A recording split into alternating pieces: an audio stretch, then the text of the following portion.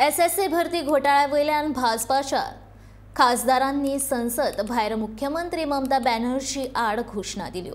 S S C भरती घोटाळ्यांत आदलो राज्यमंत्री पार्थ चटर्जीत हात आसाच पूण मुख्यमंत्री ममता बॅनर्जी लेगीत ह्या प्रकरणात घुसपिल्ल्याचो आरोप तांणी केलो.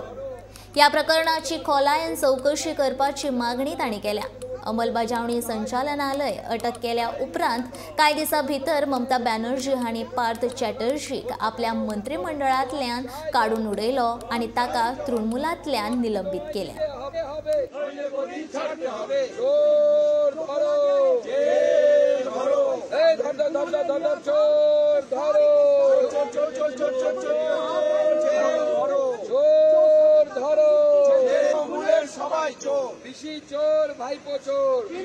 ये ममता बनर्जी का इस्तीफा मांग कर रहे हैं हम क्योंकि ममता बनर्जी की आज्ञा बिना ममता बनर्जी की अप्रूवल बिना ये चल नहीं सकता। इसलिए जो करप्शन हुआ है ममता बनर्जी की पार्टी कोई आइडियोलॉजिकल पार्टी नहीं है।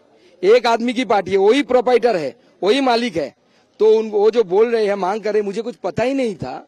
अगर ये सही माना जाए तो ये संभव ही नहीं है। इसलिए ममता बनर्जी की इस्तीफा हम मांग कर रहे हैं। हम लोग का मांग है कि ममता बनर्जी तुरंत रिजाइन करें, क्योंकि हम लोग देख रहे हैं कि लगातार पश्चिम बंगाल में जो खोज मिल रहा है, पैसे का खोज मिल रहा है, करोड़ों करोड़ रुपए का फ्लैट से खोज मिल रहा है, इसमें कोई हिसाब किताब नहीं है इसमें ये जनता का पैसा है, जनता का पैसा लूट किया है।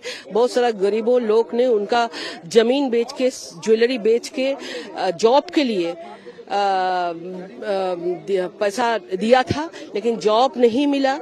इसलिए हम लोग चाहते हैं कि इसमें सिर्फ़ पार्थो चैटर्जी नहीं, इसमें पूरा तृणमूल सरकार का करप्शन इसमें है। जाँच सीबीआई और ईडी जाँच करे, और जो बड़ा बड़ा जो प्रभावशाली लोग, नेता, मंत्री लोग हैं, इसको इसमें इसमें जुड़े हुए हैं, इसको शास्ति होना चाहिए।